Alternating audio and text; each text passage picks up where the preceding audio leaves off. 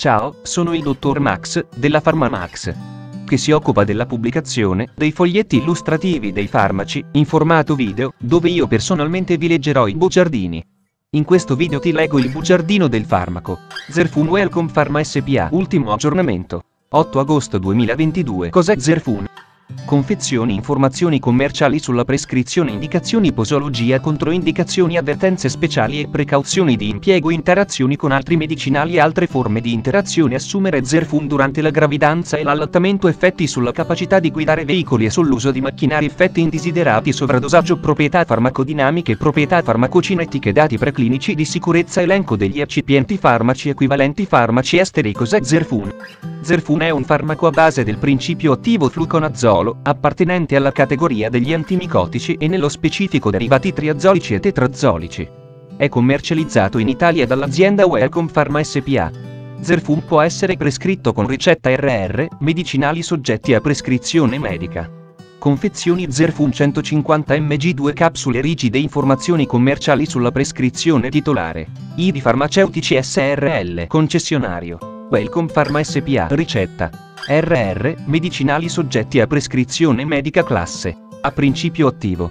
Fluconazolo gruppo terapeutico. Antimicotici forma farmaceutica. Capsula indicazioni Zerfun è indicato nelle seguenti infezioni micotiche, vedere paragrafo 5, 1.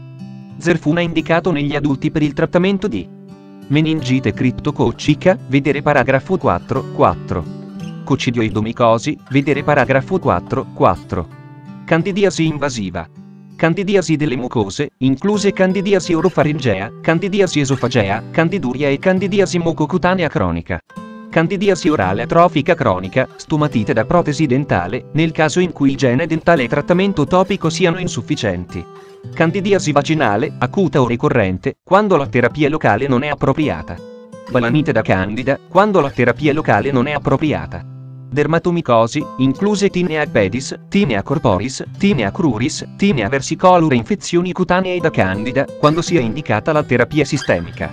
Tinea unguinium, onicomicosi, quando altri trattamenti non siano considerati appropriati. Zerfuna indicato negli adulti per la profilassi di recidiva di meningite criptococica in pazienti ad alto rischio di ricaduta recidiva di candidiasi orofaringea o esofagea in pazienti affetti da IVA ad alto rischio di presentare ricadute. Per ridurre l'incidenza della candidiasi vaginale ricorrente, 4 o più episodi all'anno. Profilassi delle candidemie nei pazienti con neutropenia prolungata, esempio pazienti con patologie ematologiche maligne sottoposti a chemioterapia o pazienti che ricevono trapianto di cellule staminali emopoietiche, vedere paragrafo 5, 1. Zerfuna è indicato nei neonati a termine, lattanti, infanti, bambini e adolescenti da 0 a 17 anni. Zerfuna è usato nel trattamento delle candidiasi delle mucose, orofaringee esofagee, candidiasi invasive, meningite criptococcica e nella profilassi delle candidiasi nei pazienti immunocompromessi. Zerfun può essere usato come terapia di mantenimento per prevenire le ricadute di meningite criptococcica nei bambini ad alto rischio di recidiva, vedere paragrafo 4, 4. La terapia può essere istituita prima che si conoscano i risultati delle colture o di altri test di laboratorio, ma, quando i risultati diventano disponibili, la terapia antinfettiva deve essere adeguata conseguentemente. Bisogna tenere in considerazione le linee guida ufficiali per l'uso appropriato degli antimicotici. Posologia Posologia Il dosaggio deve essere basato sulla natura e sulla gravità dell'infezione micotica. Il trattamento delle infezioni che richiedono dosaggi multipli deve proseguire finché i parametri clinici o altri esami di laboratorio non dimostrino che l'infezione micotica attiva sia scomparsa. Un periodo di trattamento inadeguato potrebbe portare alla recidiva dell'infezione attiva. Adulti indicazioni posologia durata del trattamento criptococcosi, trattamento della meningite criptococcica. Dose di carico. 400 mg il giorno 1. Dose successiva da 200 mg a 400 mg una volta al giorno generalmente da 6 a 8 settimane. Nelle infezioni che costituiscono rischio per la vita la dose può essere aumentata fino a 800 mg. Terapia di mantenimento per prevenire le ricadute di meningite criptococica nei pazienti ad alto rischio di recidiva. 200 mg barra una volta al giorno indefinitamente alla dose giornaliera di 200 mg coccidioidomicosi da 200 mg a 400 mg barra una volta al giorno 11 mesi fino a 24 mesi o più, in base ai pazienti. 800 mg/die possono essere considerati per alcune infezioni e specialmente per le meningiti candidiasi invasive. Dose di carico. 800 mg il giorno 1. Dose successiva. 400 mg barra una volta al giorno in genere, la durata della terapia raccomandata per la candidemia è di due settimane dopo i risultati della prima emocoltura negativa e la risoluzione dei segni e sintomi attribuibili alla candidemia. Trattamento della candidiasi delle mucose, candidiasi orofaringea dose di carico. Da 200 mg a 400 mg il giorno 1. Dose successiva. Da 100 mg a 200 mg barra una volta al giorno da 7 a 21 giorni, fino a quando la candidasi orofaringea non è in remissione. Nei pazienti con gravi compromissione immunitaria si possono usare periodi più lunghi. Candidiasi esofagea dose di carico. Da 200 mg a 400 mg il giorno 1. Dose successiva da 100 mg a 200 mg barra una volta al giorno da 14 a 30 giorni, fino a quando la candidasi esofagea non è in remissione. Nei pazienti con gravi compromissione immunitaria si possono usare periodi più lunghi. Candiduria da 200 mg a 400 mg barra una volta al giorno da 7 a 21 giorni. Nei pazienti con gravi compromissione immunitaria si possono usare periodi più lunghi. Candidiasi atrofica cronica 50 mg barra una volta al giorno a 14 giorni. Candidiasi mucocutanea cronica da 50 mg a 100 mg barra una volta al giorno fino a 28 giorni.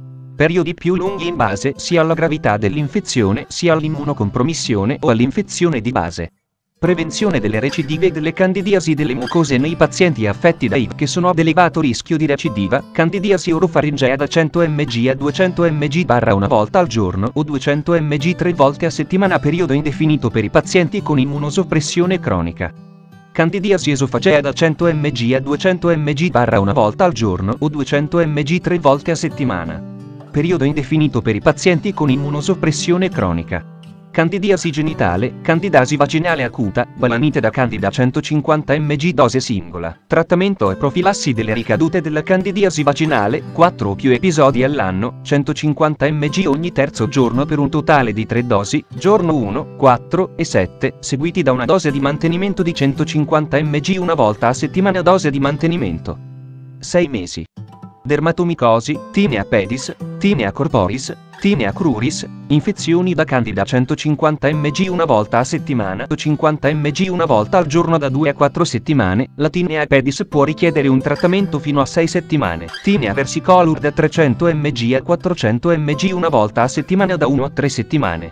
50 mg una volta al giorno da 2 a 4 settimane. Tinea unguium, onicomicosi, 150 mg una volta a settimana. Il trattamento deve essere continuato finché l'unghia infetta non è sostituita, l'unghia sana ricresce. La ricrescita delle unghie delle dita delle mani e dei piedi richiede normalmente da 3 a 6 mesi e da 6 a 12 mesi, rispettivamente. Comunque la velocità della crescita può variare molto in base ai soggetti e all'età. Dopo trattamento efficace di infezioni croniche di lungo termine, le unghie potrebbero restare alterate.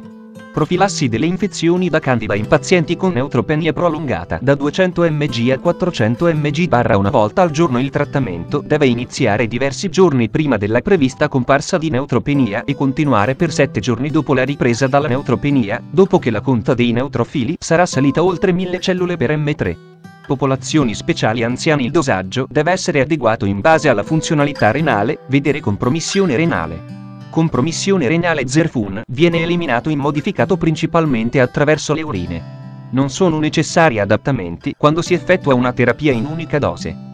Quando invece si effettua una terapia con dosi ripetute di fluconazolo nei pazienti con insufficienza renale, inclusa la popolazione pediatrica, dovrà essere somministrata una dose iniziale compresa tra 50 mg e 400 mg, sulla base della dose giornaliera raccomandata per l'indicazione.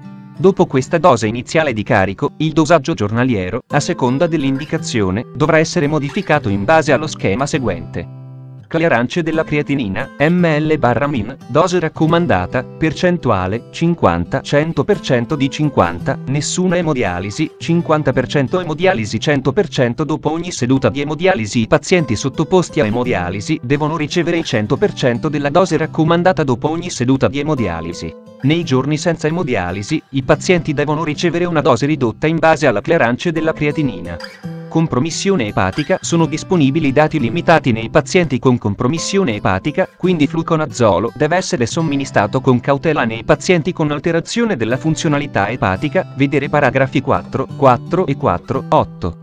Popolazione pediatrica Nella popolazione pediatrica non bisogna superare la dose massima di 400 mg/die. Come per le analoghe infezioni negli adulti, la durata del trattamento si basa sulla risposta clinica e micologica. Zerfun viene somministrato in dose singola giornaliera. Per i pazienti pediatrici con funzionalità renale compromessa, vedere il dosaggio al paragrafo compromissione renale. La farmacocinetica del fluconazolo non è stata studiata nella popolazione pediatrica con insufficienza renale, per i neonati a termine che spesso mostrano principalmente immaturità renale vedere di seguito. Lattanti, infanti e bambini, da 28 giorni a 11 anni. Indicazione posologia raccomandazioni, candidiasi delle mucose dose iniziale. 6 mg barra kg dose successiva. 3 mg barra kg barra una volta al giorno la dose iniziale può essere usata il primo giorno per raggiungere più rapidamente i livelli di stea di state. Candidiasi invasive, meningite criptococica dose da 6 a 12 mg barra kg barra una volta al giorno in base alla gravità della malattia, terapia di mantenimento per la prevenzione di ricadute di meningite criptococica nei bambini ad alto rischio di recidiva. Dose. 6 mg barra kg barra una volta al giorno in base alla gravità della malattia, profilassi della candida nei pazienti immunocompromessi dose da 3 a 12 mg barra kg barra una volta al giorno in base all'entità e alla durata della neutropenia indotta, vedere posologia negli adulti, adolescenti, da 12 a 17 anni. In base al peso e allo sviluppo puberale, il medico avrà bisogno di valutare quale posologia sia la più adeguata, adulti o bambini. I dati clinici indicano che i bambini hanno una clearance del fluconazolo più elevata di quella riscontrata negli adulti. Una dose di 100, 200 e 400 mg negli adulti corrisponde a una dose di 3, 6 e 12 mg/kg nei bambini, per ottenere un'esposizione sistemica comparabile. La sicurezza e l'efficacia per l'indicazione candidiasi genitale nella popolazione pediatrica non sono state stabilite. I dati di sicurezza attualmente disponibili per le altre indicazioni pediatriche sono descritti al paragrafo 4, 8. Nei casi in cui sia assolutamente necessario il trattamento della candidiasi genitale negli adolescenti, da 12 a 17 anni, la posologia deve essere la stessa degli adulti. Neonati a termine, da 0 a 27 giorni. L'escrezione di fluconazolo nei neonati avviene lentamente. Ci sono pochi dati farmacocinetici a sostegno di questa posologia nei neonati a termine, vedere paragrafo 5, 2. Etaposologia raccomandazioni neonati a termine, da 0 a 14 giorni, la stessa dose mg/kg prevista per lattanti, infanti e bambini, deve essere somministrata ogni 72 ore, non deve essere superata la dose massima di 12 mg/kg ogni 72 ore neonati a termine, da 15 a 27 giorni, la stessa dose mg/kg prevista per lattanti, infanti e bambini, deve essere somministrata ogni 48 ore, non deve essere superata la dose massima di 12 mg/kg ogni 48 ore modo di somministrazione fluconazolo può essere somministrato sia per via orale sia tramite infusione endovinosa, in base allo stato clinico del paziente. Nel passaggio dalla via endovinosa a quella orale, o viceversa, non è necessario modificare il dosaggio giornaliero. Il medico deve prescrivere la forma farmaceutica e il dosaggio più appropriati in base all'età, al peso e alla posologia.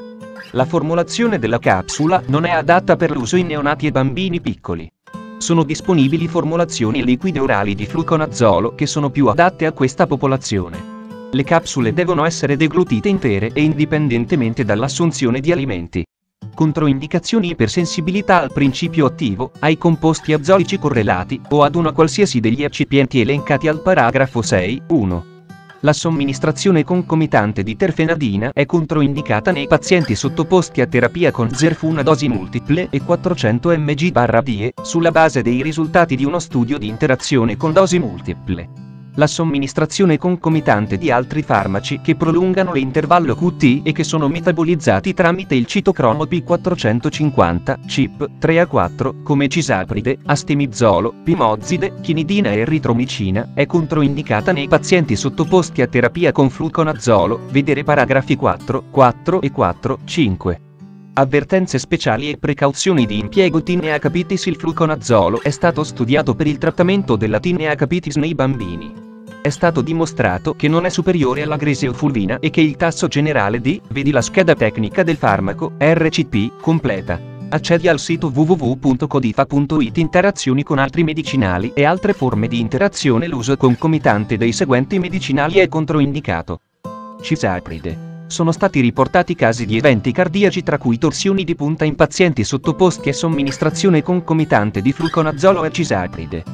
1. Vedi la scheda tecnica del farmaco, RCP, completa. Accedi al sito www.codifa.it Assumere Zerfun durante la gravidanza e l'allattamento Posso prendere Zerfun durante la gravidanza e l'allattamento? Gravidanza I dati relativi a diverse migliaia di donne in gravidanza trattate con una dose cumulativa di 150 mg di fluconazolo, somministrato nel primo trimestre, non mostrano alcun aumento del rischio, vedi la scheda tecnica del farmaco, RCP, completa.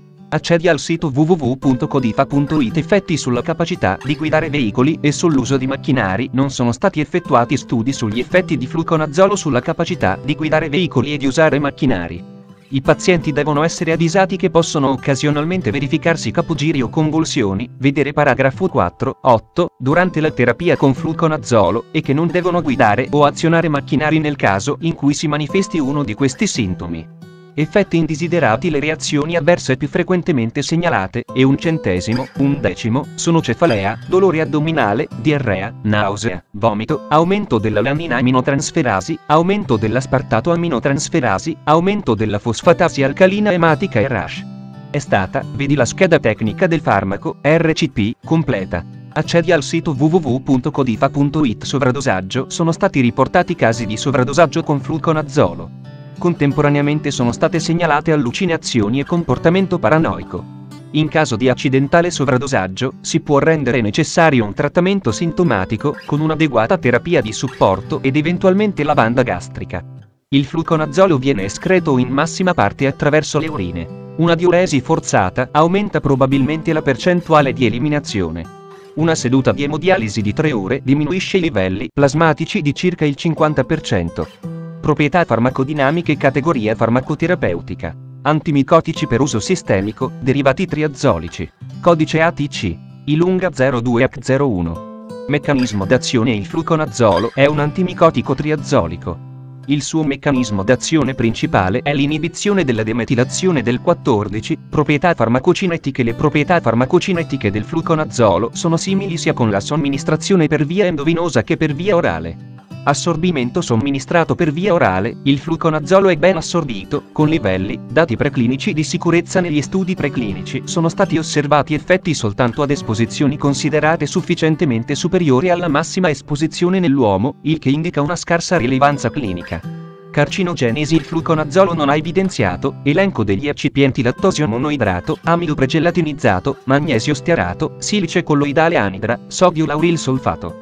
Capsula gelatina, titanio diossido, e 171, ossido di ferro giallo, e 172 solo nelle capsule da 100 mg. Farmaci equivalenti I farmaci equivalenti di Zerfun a base di fluconazolo sono Alozof, Azonal, Crinozol, Diflucan, Capsula, Dizolo, Elazor, Fluconazolo ABC, Fluconazolo Accord, Fluconazolo Almus, Fluconazolo Aurubindo, Fluconazolo Doc generici, Fluconazolo EG, Fluconazolo Exal, Fluconazolo Milan, Fluconazolo Pensa, Fluconazolo Ratioferm, Fluconazolo Sandoz, Fluconazolo San, Fluconazolo Zentiva, Flucostinol, Fluchimex, Flumicon, Flumos, Fluores, Fungus, Gemiflux, Clyder, Lefunzol, Lucandiol, Miconix, Muches, Riflax, Tedim, Trimicos, Vinc, Zoloder Fonte, foglietto illustrativo. AIFA, Agenzia Italiana del Farmaco. Le informazioni presenti possono non risultare essere aggiornate. Per avere accesso alla versione più aggiornata, si consiglia l'accesso al sito web dell'AIFA, Agenzia Italiana del Farmaco.